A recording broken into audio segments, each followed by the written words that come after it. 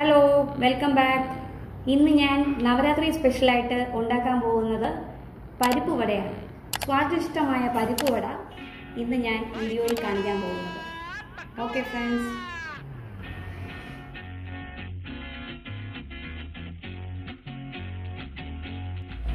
പരിപ്പ് വട ഉണ്ടാക്കാനായി ആവശ്യമുള്ള ഇൻഗ്രീഡിയന്റ് ഇത് വടപ്പരിപ്പ്. വടപ്പരിപ്പ് ഞാൻ എടുത്തേക്കുന്നത് ഒരു ഇരുന്നൂറ്റമ്പത് ഗ്രാമാണ് ഇത് നാല് മണിക്കൂർ വെള്ളത്തിൽ സോക്ക് ചെയ്ത് വെച്ചിട്ട് അരിച്ചെടുക്കണം. പിന്നെ നമ്മൾ മിക്സിയിൽ അരച്ചെടുക്കുക ചെയ്യുന്നത് ഇതിനോടൊപ്പം രണ്ട് ചെറിയ ഇഞ്ചി പീസ് നാലോ അഞ്ചോ വറ്റൽ മുളക് അവരവരുടെ എരിവിനനുസരിച്ച് ആറോ ഏഴോ ചെറിയ ഉള്ളി. ഇതിനെ ഈ ഇത്രയും ഇൻഗ്രീഡിയൻസിനെ നമ്മൾ മിക്സിയിൽ അരച്ചെടുക്കും. ഈ പരുവമാണ് വടപ്പരിപ്പ് ഞാൻ മിക്സിയിൽ അരച്ചെടുത്തേക്കുന്നത്. പിന്നെ ചെറിയ ഉള്ളിയും ഇഞ്ചിയും വറ്റൽമുളകും അരച്ചെടുത്തതാണിത്. ഇതിനോടൊപ്പം കുറച്ച് കറിവേപ്പിലയും പരുവത്തിന് ഉപ്പും കൂടെ ചേർത്ത് നമ്മൾ മിക്സ് ചെയ്യും ഈ മാവിലേക്ക്.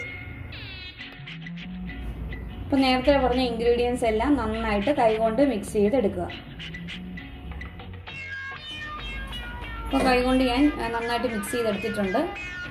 മിക്സ് ചെയ്ത് കഴിഞ്ഞിട്ടുള്ള ഒരു പരുവാണിത്.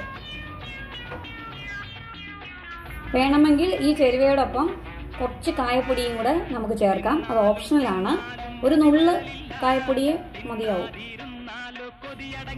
ഇനി നമുക്കൊരു ചീനച്ചട്ടി എടുത്ത് കുറച്ച് എണ്ണ ഒഴിച്ചു കൊടുക്കാം. എണ്ണ ചൂടാകാൻ നേരം നമുക്ക് ഹൈ ഫ്ലെയിമിൽ ഇട്ട് കൊടുത്തതിന് ശേഷം അത് പിന്നെ ലോ ഫ്ലെയിമിലോട്ട് ആക്കി കൊടുക്കുക ഇനി നമുക്ക് ഇതിനെ ചെറിയ ചെറിയ ബോളാക്കി ഉരുട്ടിയെടുക്കാം. ഉരുട്ടിയതിന് ശേഷം കൈകൊണ്ട് ഒന്ന് പരത്തി കൊടുക്കാം. ഈ ഇതേപോലെ. ഒന്നൊന്നായിട്ട് ഉരുട്ടി പരത്തിയതിന് ശേഷം നമുക്ക് ചീനച്ചട്ടിയിൽ പതുക്കെ ഇട്ട് കൊടുക്കാം. ഒന്നൊന്നായിട്ട് വേണം ഇട്ട് കൊടുക്കാൻ.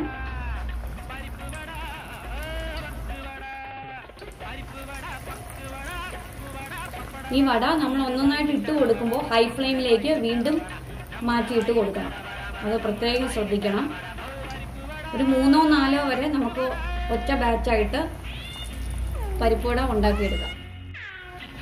ഇനി കുറച്ചൊന്ന് മൂത്തതായി തോന്നുമ്പോൾ നമുക്ക് ഓരോരോ വടയായിട്ട് മറിച്ചിട്ട് കൊടുക്കാം. അതിന് സമയമൊന്നും നമുക്ക് പറയാൻ പറ്റത്തില്ല. ആ നമുക്ക് പരുവം കാണുമ്പോൾ ഇച്ചിരി മൂത്തായിട്ട് തോന്നുമ്പോൾ ഒന്ന് മറിച്ചിട്ട് കൊടുത്താൽ മതി. ഇത് മറിച്ചിട്ട പരുവമാണ്.